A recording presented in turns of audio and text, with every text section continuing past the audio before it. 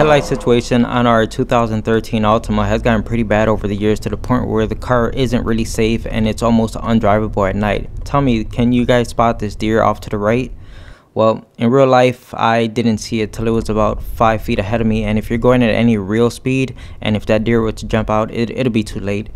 Now I'm using two cameras, so the first one is my expensive camera inside the car and you're gonna see me turn my headlights on and off right now because at this point I wasn't even sure if they were on. This camera, apparently I just found this out while I was editing, is fantastic in low light situations so this is not at all what it really looks like in person.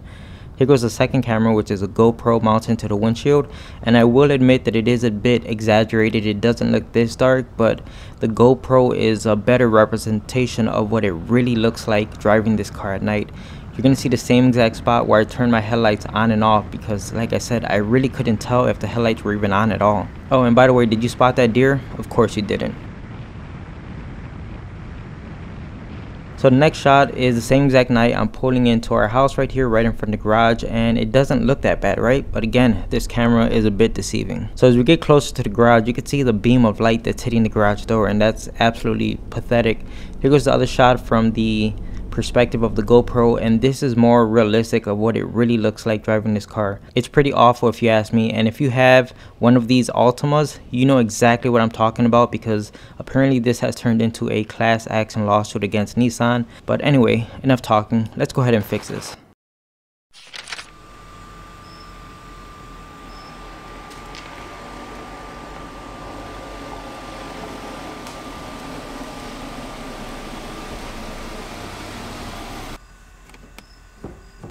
And if we take a closer look at the headlights, they're not heavily oxidized. That usually happens from the UV rays from the sun.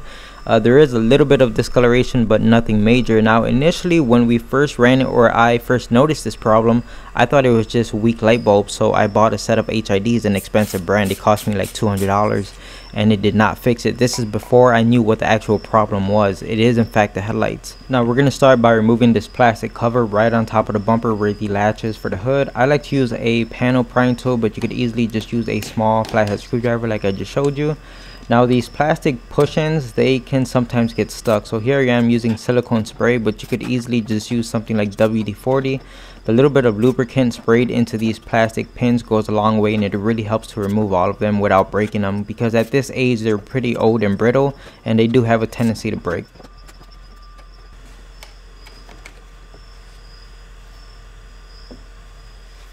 Now I'm going to start on the driver's side. You can see there are three 10 millimeter bolts right here on top. Go ahead and zip them out. They should come out pretty easy. And right next to the fender, just like a small flap, you could go ahead and pull this back and there's going to be another bolt kind of hidden back here. So go ahead and remove that. Now keep in mind, everything is going to be mirrored. So whatever we do on the driver's side, you have to do the same exact thing on the passenger side.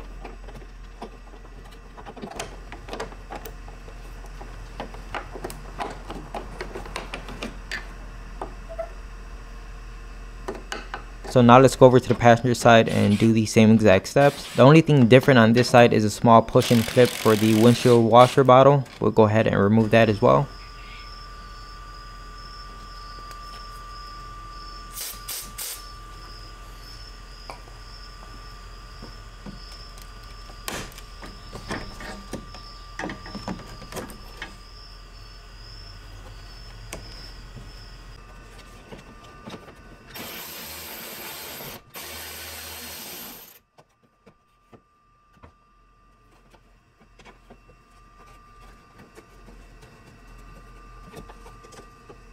Now we can move on to the side of the bumper. There's going to be another hidden 10 millimeter bolt that has to come out. We're just going to go ahead and peel back this fender liner.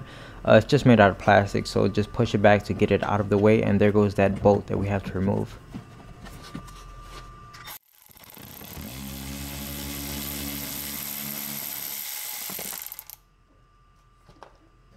With that bolt removed, you can actually go ahead and peel the bumper away from the fender. You're going to have to give it a good few pulls and uh, don't be scared to do this. I know it looks like you're going to break something, but uh, just try to be careful with it. Don't go caveman style on it and give it a, a nice few tugs and it should pop away. So here we are on the other side of the car repeating the same exact process. It should look something like that. And now we can move on to the underside of the bumper and I'm just going to remove the uh, like button head screws they use a Phillips. There's going to be three on the driver's side and three on the passenger side. Now I'm actually missing one right here on the passenger side so I just skipped it. And this is what those screws look like. Once you got all of those screws out of the bumper, we're going to move to the center of the bumper and these are all 10 millimeter bolts that have to come out. As you can see, one of those 10 mils is pretty much stuck in place. It's rusted in place, so we'll just come back to it later. I'm sure it's going to end up breaking off.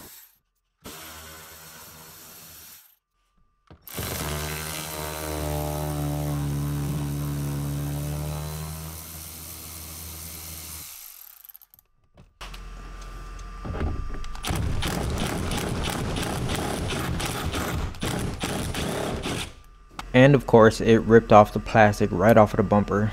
There's an easy way around this. Just grab a set of pliers and you're actually going to hold what the bolt goes through and then you could just use your impact gun or just a regular ratchet and unscrew the bolt. Not a big deal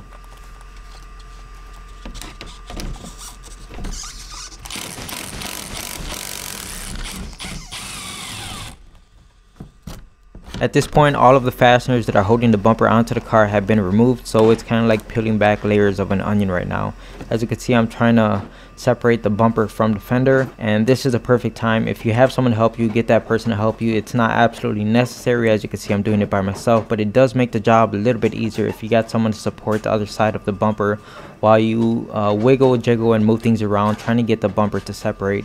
So just kind of work both sides of it, going back and forth, and eventually the whole bumper is going to come right off.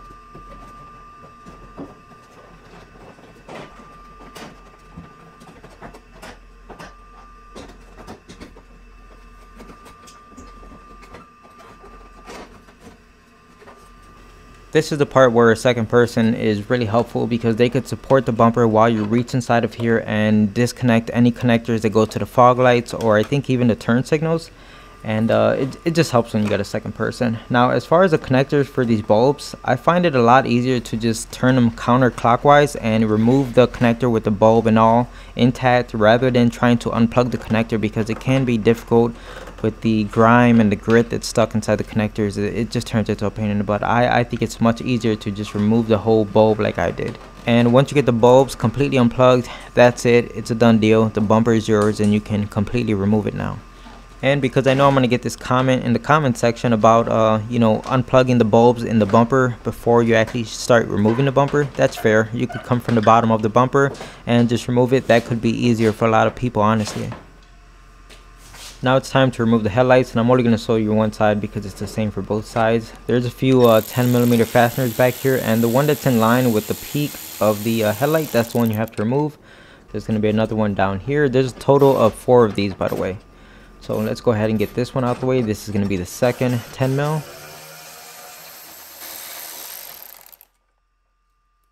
And the third one is going to be right underneath the headlight.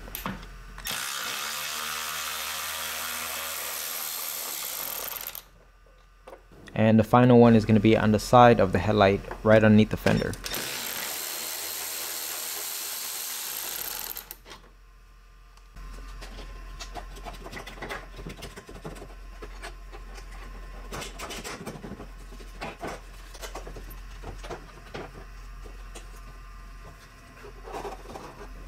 And just like I mentioned for the bulbs going into the bumper, it's way easier to just turn them counterclockwise and remove the bulbs complete with the harness instead of trying to separate that connector. Not to mention, I took a look at the new headlights and they don't come with bulbs, so you're to have to reuse your old one anyway. Uh, these clips that go into the headlight are really easy to remove with some needle nose pliers. You just come from the back side of them and squeeze the two little tabs with your pliers and they should pop right out and now the headlight is completely disconnected from the car.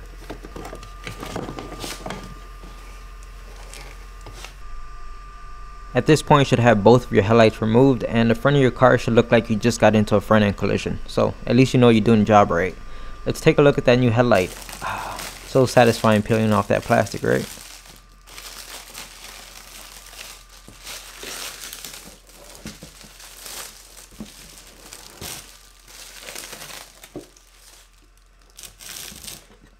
Come on, baby, give it to me. Yes, yes, yes. No, no!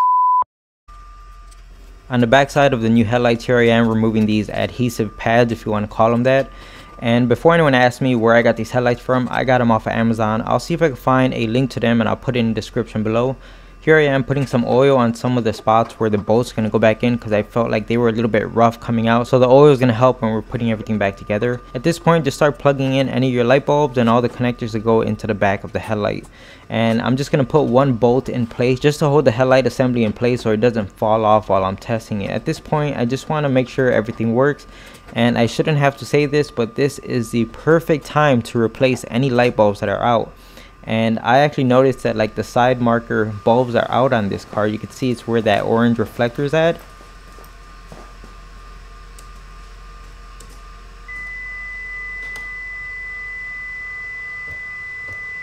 And as you can see I just replaced them. I had some uh, new bulbs right here in my uh, collection. So I popped out the one on the left and the right side. They were actually both burnt out. And there goes that one now working and here goes the one on the right or the passenger side working as well. Take advantage of this guys because it is not easy to change bulbs on these cars. Of course you can do it without removing the bumper but it's just super easy right now. So that's pretty much all the hard work done. So i'm just gonna go ahead and fly through everything and put everything right back together and we'll kind of wrap this thing up. Let me show you guys some before and after. And uh, for you guys who are sticking around i'll show you what the inside of the old headlight looks like and why it stops working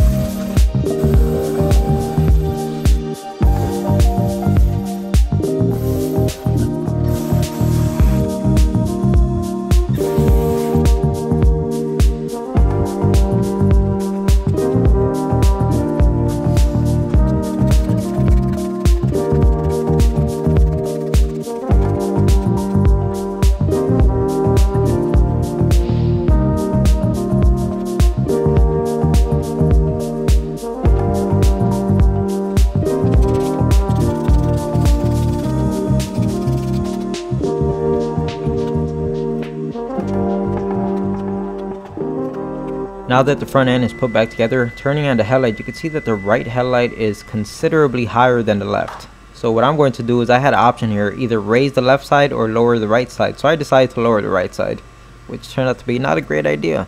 But it's what I did because you got to start somewhere, right?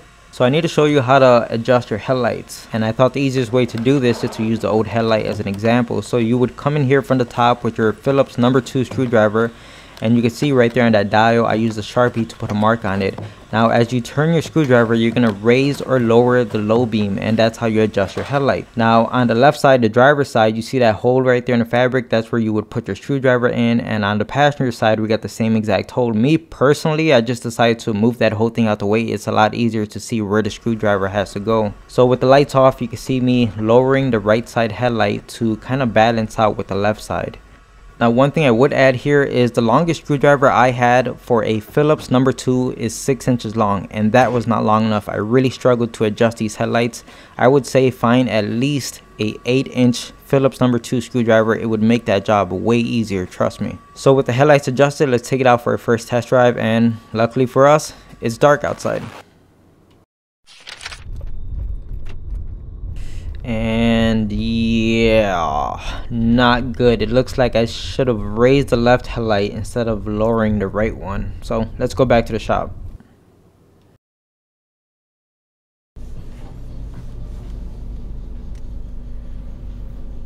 Okay, so out of the garage, I did have to adjust them a good three times until I got them to a spot where I felt like they were right. And as you can see, I could see much further into the distance. Let's go ahead and turn on the high beams and look at that. You could see everything, right?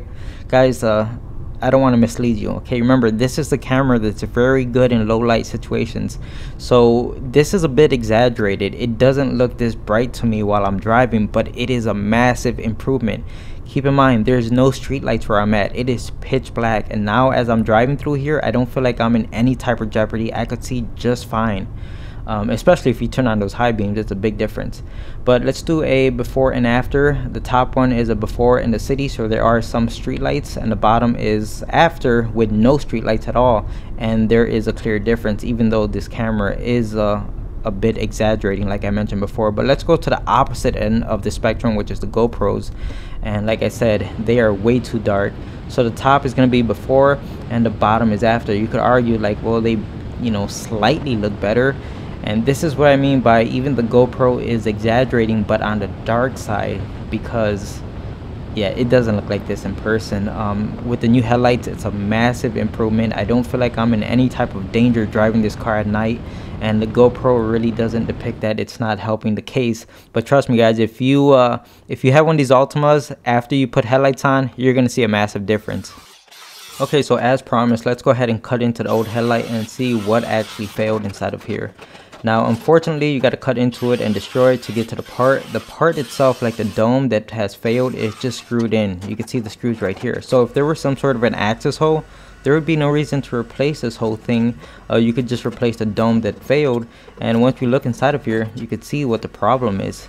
This whole inside piece should be reflective just like the outside and you can see it's completely missing. It's been it looks like it's burned away from the heat of the light bulb and it just looks like white plastic inside of there which isn't good for reflecting light of course.